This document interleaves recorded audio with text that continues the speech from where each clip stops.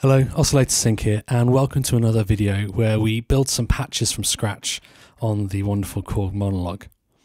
In this video, we're going to build a couple of different patches because today we're going to be looking at how we can create percussion and drum sounds on the Korg Monologue, in case you get caught short without a drum synthesizer or a, or a drum machine. Um, and we're going to start with the fundamentals, literally in this case, because we're going to be talking first of all about uh, kicks and toms, those low end drums. So, typically, the way that these are synthesized on uh, most drum synthesizers, most classic drum synthesizers, is that we have a very simple oscillator, typically a sine wave, and we uh, modulate the pitch of this oscillator using an envelope generator. And the pattern that we usually take when we're doing this is to jump very quickly, instantly, ideally, to a high pitch and then decay to a lower pitch. And that gives you that sort of dung sound that, that is sort of an approximation of, of a tom uh, and that classic synth tom sound. Uh, so we're on the initialized patch. Now, we don't actually have a sine wave uh, oscillator on the monologue. So we could possibly use our triangle wave, which is also a fairly simple wave, but we can actually get a sine wave out of the monologue. And that's by using the trick that I showed in my uh, super secret third oscillator video, which you can find on the channel. Uh, and that's by using our filter as an oscillator. So weirdly, we're going to start our patch by turning off both of our VCOs. And instead what we're going to do is crank the resonance on the filter till it starts to self oscillate. And you can see on the oscilloscope we've got a nice sine wave here. Because we're going to be dealing with our low end drums, I'm going to turn that cutoff right down. Uh, you'll need headphones or good monitors to, to enjoy this video perhaps. Okay, so what we want to do is modulate the pitch of this oscillator up very quickly uh, and then decay off. And the way we're going to do that is we're going to direct our envelope generator in attack decay mode to the cutoff, which is essentially our pitch of our uh, filter oscillator. So we're going to want a uh, instant attack. We're going to want to turn, well, we'll just turn the intensity to an arbitrary place and we'll just turn the decay to an arbitrary place as well. And we'll hit a key to see what we've got.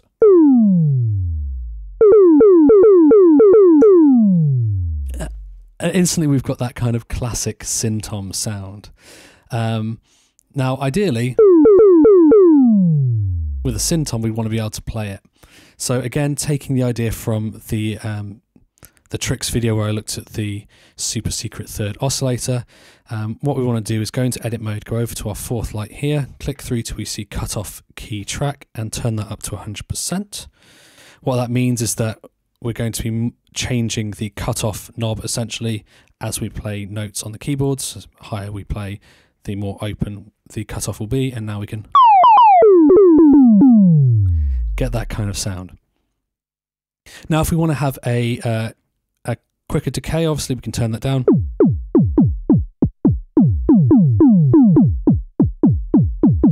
If we want to have less of a pitch variation, we can just turn our intensity down. It's basically just an oscillator. If we want to get more of a blippy kind of sound, we can turn our decay down and then crank the intensity up. To get your laser gun sounds. Okay, so if we get back to this sort of oh, way too high.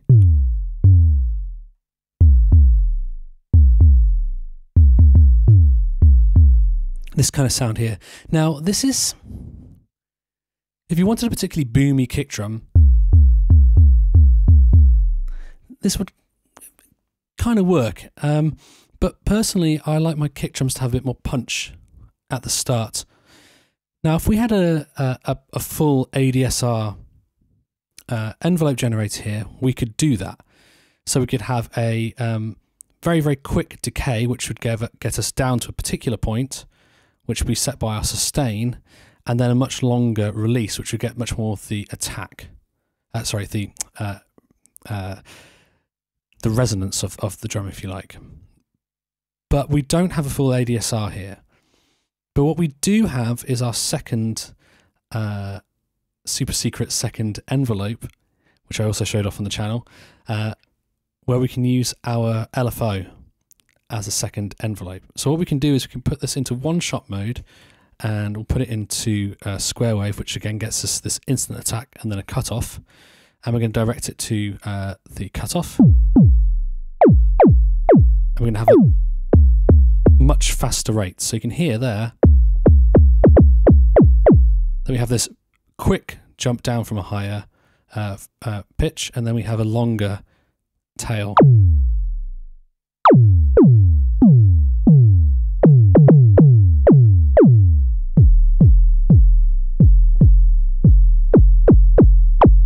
Turn up that intensity, we get more of an attack up until the point where it becomes obviously blippy.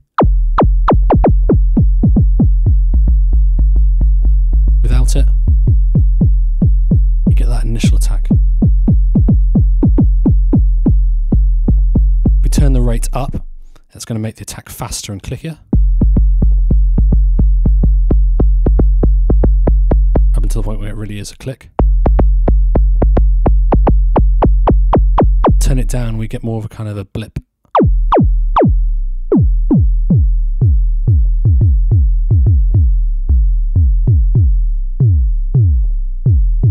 Actually, quite like it with a, a middle sort of rate and then less uh, intensity being sent to the cutoff.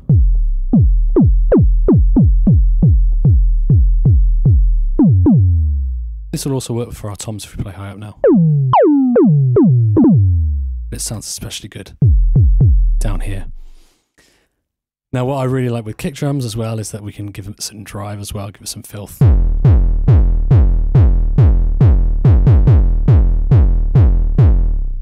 And all of the uh, the controls here that we're using here now have a slightly different interaction because we've got a lot of compression coming from the drive.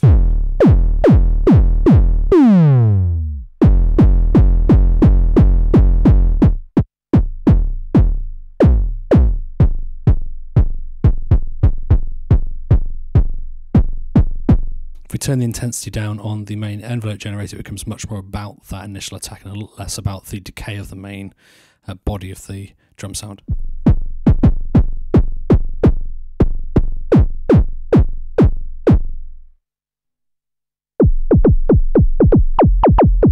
So it sounds quite dull with the drive off, but meaty with on. Okay, so that's your kicks and your toms. Uh, so let's initialize our patch again. So let's talk about uh, snares and uh, cymbals a bit because they kind of work in a similar sort of way. Uh, so for this, we're going to be making use of VCO2. We're going to be using VCO2 because it has a noise mode. Now, if we just took that noise mode and gave it an envelope, again, we'll just go into attack decay mode here.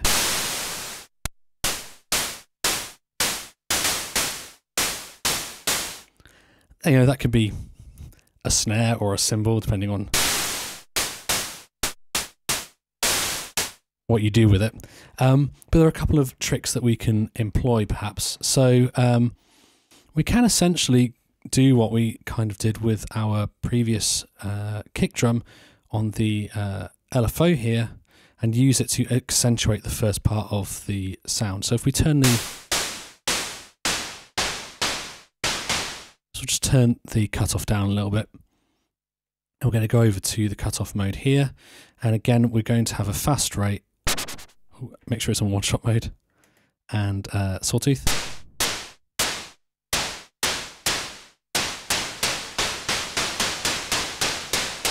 I'm just going to find that point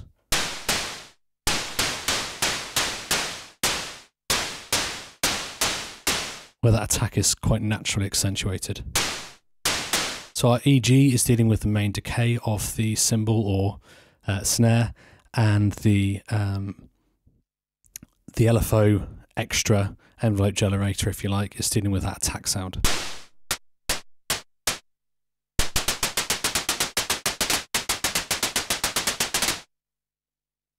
The other thing that I'd say when we're looking at the cymbal sounds is don't forget that uh, although this is a low pass filter, if we up the resonance and it's set quite open, we actually accentuate the top end quite a lot.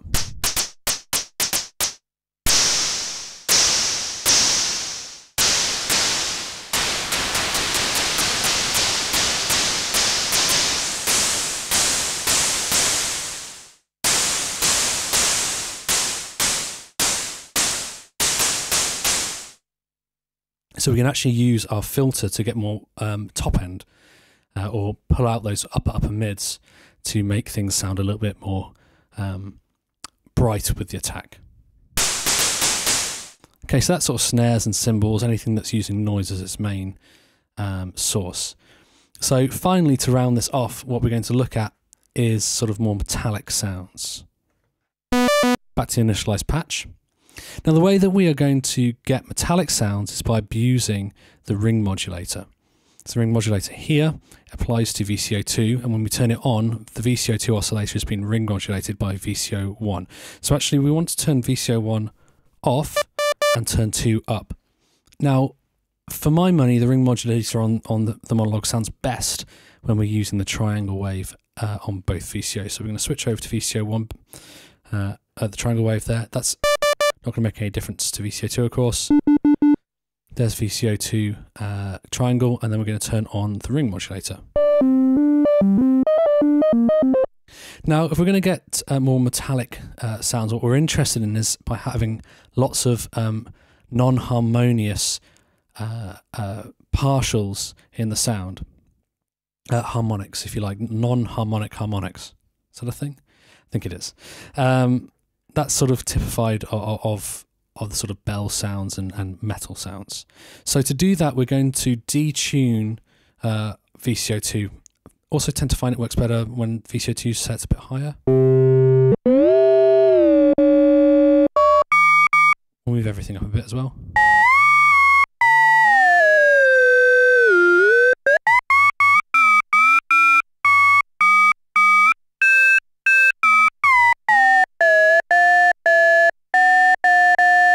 So trying to find a point there where we've got as many weird, strange harmonics as possible.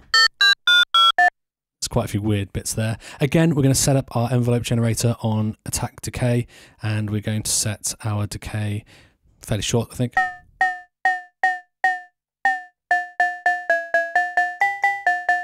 And we're starting to get that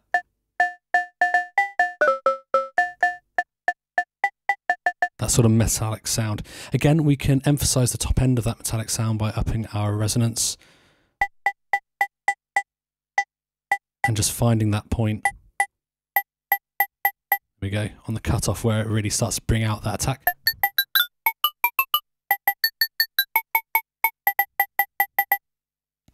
So uh, that's that's that's cool. The other thing that is worth checking out whenever you're using the ring modulator is the shape controls because it can really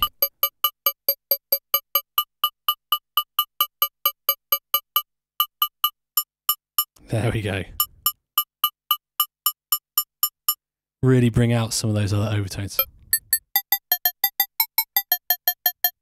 Again, so that's really nice and metallic. But I want to make even more metallic. And how can we get things more metallic? Introduce frequency modulation.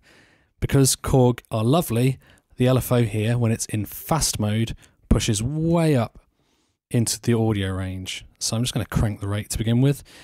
What you send this to is kind of up to you. I actually quite like it um, FMing the cutoff, uh, but let's try pitch first.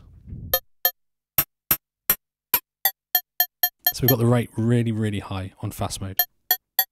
As we turn up the intensity, we start to introduce more overtones through frequency modulation.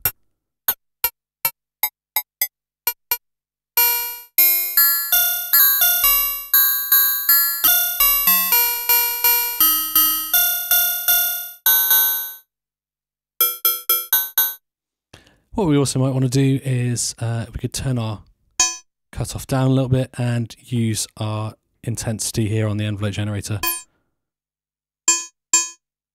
Don't want to send too much because it'll be obvious with the resonance cranked.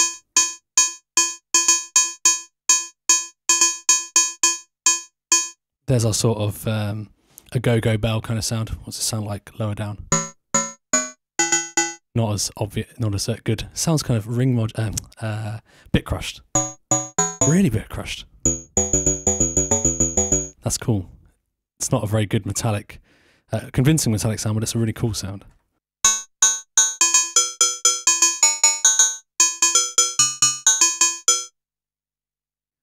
So if you want your Latin kind of sounds in your drum uh, drum beat, then uh, that's how you can get to them. Thank you uh, very much for watching, guys. Hope you enjoyed that. Hope you got something out of that. If you did, make sure you head up to the thumbs up and give the video a like, and also make sure you subscribe to the channel for more videos on synthesis and the Korg monologue and all sorts. And just a, a, a quick spoiler alert the next video I'll be posting after this will be another how to build, but we're going to actually build a drum beat. So we're putting some of these ideas into use there. So that's something to come back and check for uh, in a couple of days. Uh, I think that's going to be a really cool video. Thank you so much for watching, guys. I'll see you again soon.